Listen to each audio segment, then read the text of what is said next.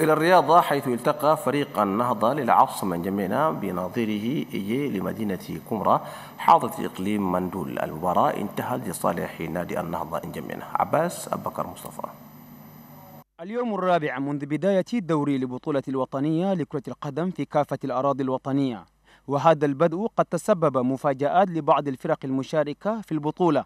ففي ملعب الرياضي باري كونغو حيث التقى فريق إيبي لمدينة مندول مع خصمه RFC لمدينة أنجمينا. والمفاجأة الكبرى هي خسارة RFC أمام ضيفه إيبي لمدينة مندو بثلاثة أهداف مقابل هدف.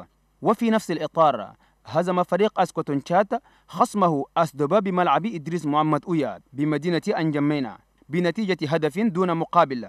وفي ملعب كرة القدم لأكاديمية فرشا حيث أحرز فريق Elect Sport على ثلاث نقاط على نظيره فريق مندو وتشير الأنباء بأن في بعض الأقاليم البلاد خاصة مدينة بلتن حيث خسر فريق AS بلتن أمام خصمه تربيون بهدفين مقابل هدف.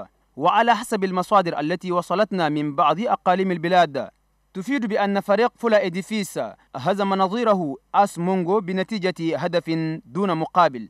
وفي الأيام القادمة يجب على الفرق الخاسرة مضاعفة الجهود حتى لا تتكرر الأخطاء أو التوالي الخسارات. بهذا الخبر الرياضي ننهي معكم هذه النشرة. دمتم في رعاية الله وحفظه والسلام عليكم ورحمة الله.